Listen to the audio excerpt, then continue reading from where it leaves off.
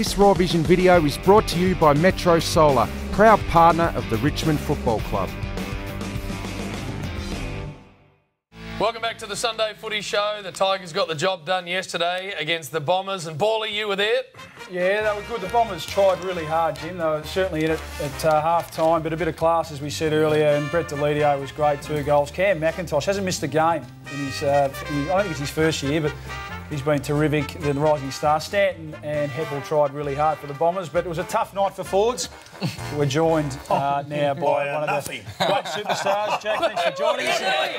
Tell us about the kit, mate, first up. No, well, I do have to apologise. A bit of a wardrobe malfunction this morning. Uh, went to the club to do some rehab.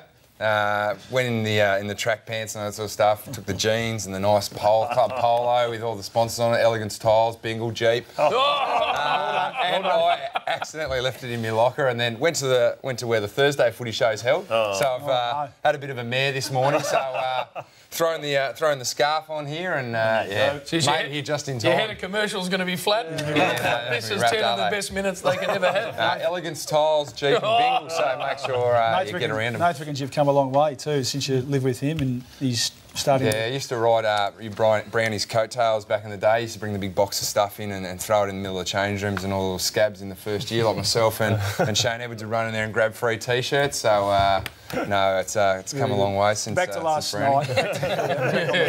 Dimma must have been happy. Uh, we said at the start of the show that might have been one of those games in the past. It was a bit of a danger game. The Bombers obviously had a good crack, but just good to get get the win and get out of there with not too much damage.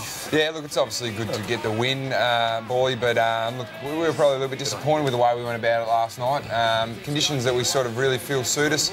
We were a little bit disappointed in our contested possessions, and uh, and uh, Essendon really jumped us early, but. Um, obviously, at the end of the day, it's four points, and, we we've banked it, and we're uh, really looking forward to a big game this week against North. You had a great battle yourself with Michael Hurley, another great battle. You two seem to do that these days. But I was really impressed with Ben Lennon as well. I thought his first quarter and first half, again, when everyone was fumbling around a bit, he's really clean. He was a first round draft pick, we know. He really I thought played his best game for the club last night. Yeah, look, he's been really good over the last month, I reckon, boy. He's, he's that type of player, and we've, we've, got a couple of them now, Brett Deledio, those sort of taller types that are really good over the head and, and really silky. The thing with, with Leno, and I think um, we forget is that he's a second year player. He's a first round draft pick last year and he's just taken a little bit of time to come on. But his contested stuff was probably a part of his game that he needed to work on. And I know that he's been doing a lot of work with Mark Williams down there and, and it's become a real strength of him and uh, it's keeping him in the side at the moment. Hey, Jack, the game's changed. Uh, in the past, you would have had to have kicked six or seven goals to be regarded the best three players, yet now your role has completely changed. Talk us through how different uh, your responsibility is with the team now because you're getting up the ground. How much weight have you had to lose? Give us some of the change you've had to make. Well, I haven't really lost a, a, a lot of weight, Lloydie. It's more sort of been the pre-season um, and, and, what I've put in has, has been a, a, lot of hard work and a lot of running. But I think that's just the way the game's going these days. We are. Uh, we see the, the GPS numbers for us. It's not total distance. It's actually how fast you can run and how long you can run for. Mm. So, um, so that high speed running's become a part of my game and, and, and, a lot of part of our game. Certainly something that we we measure it on. But uh, look. Um, the, the, forward line last night and the forward line over the last sort of month has worked really well without me having a, a huge impact on the scoreboard. I think Tyrone's been hmm. fantastic. He's been much maligned outside the four walls of the football club, but inside we've always known that he, he, could really be that strong key forward for us, and certainly that's helping me. But um, I think we've got two nearly of the best half forwards in the competition in Brett Deledio and Shane Edwards, and, mm. and they've been hitting the scoreboard and really impacting for us. I want to talk about Shane Edwards because he's done it the hard way. He's been there a long, long time. He's got, what is it, nine or ten years close to now? Yeah, nine years. He started to become an influential player last year, and I thought this has been a standout year. It's taken him a long time. What have you seen in him that's made him such the player he is this year after, I mean, seven or eight years in and out of the side? Yeah, yeah look, for someone that's probably, uh, I suppose, where Shane started, we both drafted in the same year. He had a really light frame, and he's been able to put some some weight on, and he's, he's actually got a really hardened body that we feel really comfortable with him around stoppages. Uh, he's nearly probably our best stoppage player. And, and he's just got that ability to always help other blokes hit the scoreboard. Um, he's an elite handballer and a, and a really good tackler, and you know when he's around the ball, he's going to impact to be honest, I think up until when he when he broke his leg about six weeks ago, he was probably all Australian mm, half forward, which is really disappointing too, because I know that. Um, certainly inside our four walls, he, he's rated very, very highly. Hey, Jack, you dropped the car last night. Let's take a look at it. So you, you got on oh, Hurley's Jack. shoulders. Talk us through oh, Unbelievable. It was. Double. Yeah. Talk us through it. Wet ball.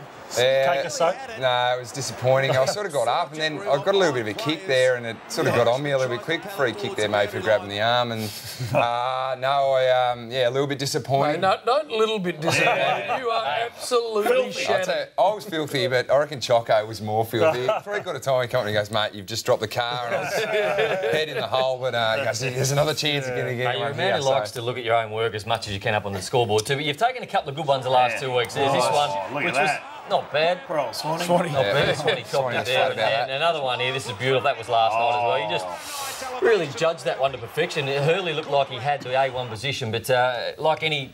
No more than any other player in the AFL, you do watch yourself on the scoreboard a fair bit. Hey, I learned from the best Brownie when you were down there. So um, no, look, it's uh, it's obviously a part of my game that I, I really like and I really am uh, and trying to work on. I reckon probably the start of this year I wasn't jumping at the ball as well as I could, and I've been doing a lot of work over the last two weeks to to bring that back. And um, certainly going forward, it's something that I suppose I can bring to the side. Doesn't always work, does it, Jack?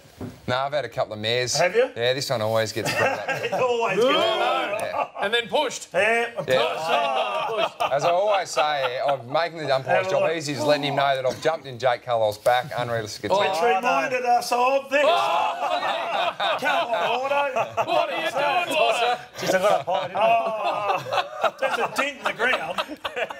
Old chubby Lord. Oh, bro. Oh, Hey. Jack, you get your skipper back next week. You take on Jim's mob. You put the pressure back on the Swans today. You're in fourth as we sit here now. If you don't end up in that top four, how, and maybe just not the Tigers, but how realis- realistic do you think it is for uh, those sides, five to eight, to really shake up the top four this year? Well, I sort of look at this year as it's been really even, Hmm. uh, and I think we've seen that with results during the season. But I, I think you've just got to look at the percentage from bar sort of Hawthorn and West Coast are at 150. Everyone's sort of around that 120 mark, between 110. And I, and I really think that there's some guys, some sides playing some excellent footy. Just look at the game of footy that we saw yesterday with the, the Bulldogs and the Kangaroos. Both sides have pushed top four sides, and, and Adelaide are playing great footy. We saw that firsthand a month ago, and, and we're obviously travelling along okay as well. So it's um, it's going to be a really cracker final series, and, and I know that, that we're really looking forward to it. We're really looking forward to, to this night. Putting our, pitting ourselves up against a side that's around a similar mark as us. And belted uh, Collingwood a couple of weeks ago, Jack. What was happening here with the cheer squad? Just saying hello, were you? Yeah, just uh, just a little bit of hello there, but uh, like, look, it's uh, something I really love about footy is passionate supporters. Yeah, we, we've yeah. obviously got some really passionate supporters, and, and the cheer squads for AFL clubs are none more passionate than than, than them. So uh, look, uh, they, they love it. I think the Collingwood fans loved it as well. It's a bit of banter, but um, look, uh, I suppose it's not nothing too big. No, it's all good. All Speaking good. of uh, banter, do you think Martin was stiff? I don't want to get you in trouble, but uh, to get fined for something like that uh, last week? You've got to be very careful. Um, obviously, with us, we, we really don't want to be celebrating with outside the, the, the ground. For us, it's, it's about what we can do inside our four walls and, and on the ground in, in the 22 that are playing. So celebrating with our teammates is something that we're, we're really strong on. And look, um, the AFL dealt with that with the way, they dealt with it. He had, a bit- he had uh, carryover, didn't he, from the previous Yeah? That might have, had a bit of carryover. that might have uh, played on it a bit too. Uh, now, Bolly, I don't know whether you had him in, uh, our man here, but uh, since you've seen what so. he's come in dressed as, you might have slid him in late. Votes for votes for the dress code. I couldn't- it was a tough night for forwards, but Brett Deledio I thought was the most influential player on the ground. It was a pretty even performance from the Tigers. Heppell was terrific, had 19 contested possessions for the Bombers. McIntosh and Miles have been two great stories this year for the Tigers. Jack, j- just on Bill's voice, uh, I want you to have, have a think about how much time he spent actually in bed last night after the My Room ball. What's happened there, Bill? You a bit croaky this Yeah, morning? no, I've got um, my esophagus. Something wrong, something wrong with my esophagus. You go right?